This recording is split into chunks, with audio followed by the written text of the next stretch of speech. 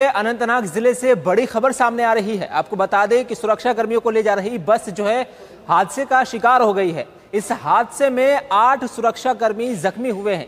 तो आपको बता दें कि इन जख्मी को जो है, अभी अस्पताल में रेफर किया गया है। हालाँकि उनकी हालत और पहचान के बारे में कोई खबर सामने निकल करके नहीं आई है। तो आपको बता दें कि जनूबी कश्मीर के अनंतनाग ज़िले से बड़ी खबर सामने आ रही है। दरअसल बताया ये जा रहा है कि सुरक्षा कर्मियों को ले जा रही एक बस हादसे का शिकार हो गई। इस हादसे में जो है आठ सुरक्षा कर्मी जो है घायल हुए हैं। तो आपको बता दें कि जनूबी कश्मीर के अनंतनाग ज़िले के कोकरनाग इलाके के पास ये हादसा हुआ है।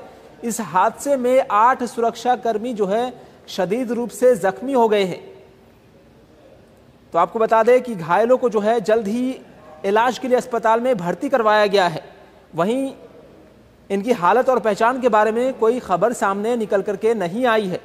तो आपको बता दें कि जनूबी कश्मीर से बड़ी खबर सामने आ रही है जहाँ सुरक्षा कर्मियों को ले, ले जा रही एक बस जो है हादसे का शिकार हो गई और इस हादसे में आठ सुरक्षा कर्मी जो है घायल हुए हैं। उनको इलाज के लिए अस्पताल में भर्ती करवाया गया है।